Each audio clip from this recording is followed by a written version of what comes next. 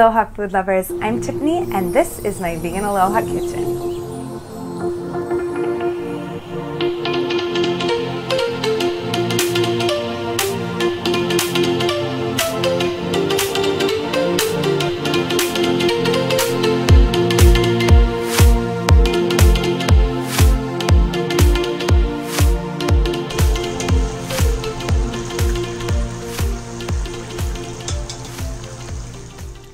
Today we are turning this into the best vegan fried chicken. Jackfruit is loved by vegans because of its chewy texture and resemblance to pulled chicken and pork. These wings are packed with flavor and have a crispy outer shell with a secret ingredient to keep everything together.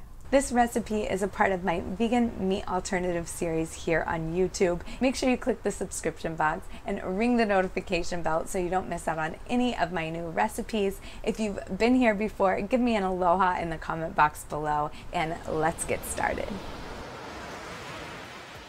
For this recipe, you can either use canned jackfruit or a fresh jackfruit. If using fresh, oil a large knife and cut the jackfruit in half. Carefully remove the core of the jackfruit by cutting it at an angle. Pull each fruit out and remove its seed and outer coating. Make sure you save those seeds, they're wonderful when roasted. Set these pieces aside, you can eat them as is or use them in a smoothie. Next, take your knife and shave off the green jackfruit pieces from the fruit. This will be our chicken. Add the jackfruit pieces to a pot of broth and simmer over medium heat for about 10 minutes. We can make a replacement egg wash by combining one cup of plant-based milk with one tablespoon of apple cider vinegar. Mix this up and allow to blend for about five minutes.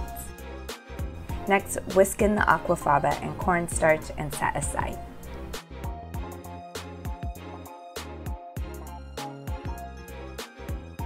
For the spiced flour blend, mix together flour and all spices.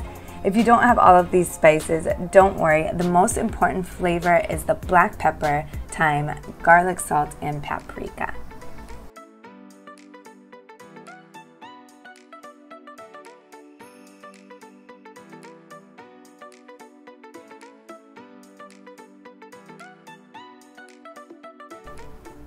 Now it's time to prepare our rice paper wraps. I'm making smaller popcorn chicken type wings for this recipe, so I'm gonna cut my rice paper into half.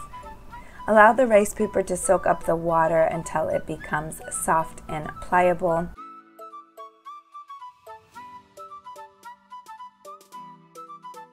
To assemble, fill the rice paper with jackfruit, fold over the tops, and then roll into a desired shape.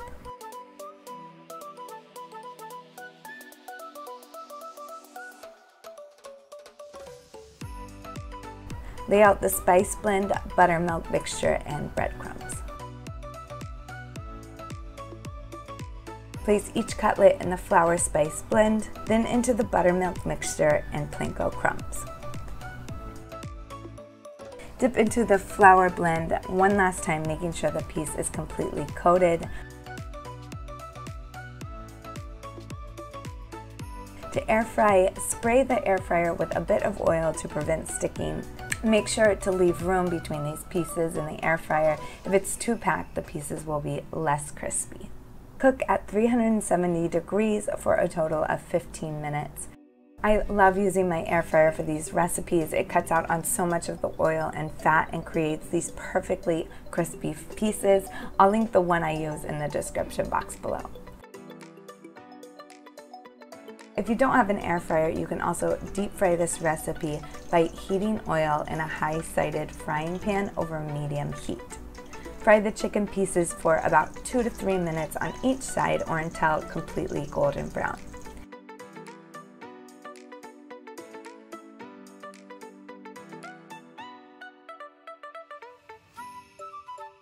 Look at the consistency of that That is perfect.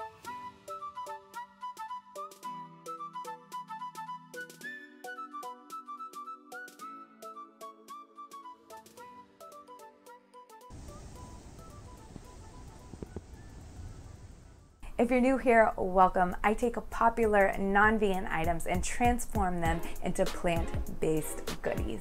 If you want all of those recipes and more, click that subscribe button and ring the notification bell. As always, mahalo for watching, choose kindness, and I'll see you in the kitchen.